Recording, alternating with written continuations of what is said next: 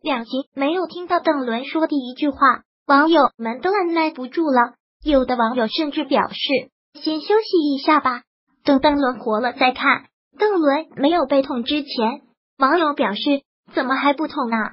这不该捅了。”网友又表示：“怎么还不活啊？感觉只要没有邓伦在场的镜头，都快进看了。”还有的网友太批了：“邓伦等于中国人，我等于中国人，邓伦等于我的人。”这个算法很棒。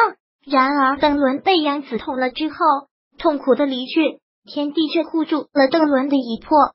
在船王那里，大家也知道，凤凰乃是不死之身，本身就有七魂八魄，有一魄是凤凰涅槃时用的，所以现在邓伦还有一魄尚在，只要能找到那一魄，用九转金丹，或许还有一些希望。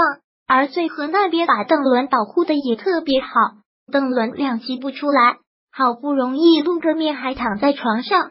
网友心疼二凤，你快点复活吧，坐等魔尊驾到。今天傍晚时刻，邓伦发布微博表示：“听到你们对我想念的呼唤了，别急，我马上回来。”邓伦哥哥就是贴心，听到粉丝的呼喊声了，真是体贴民情啊！应该是你听见锦觅的呼喊声了吧？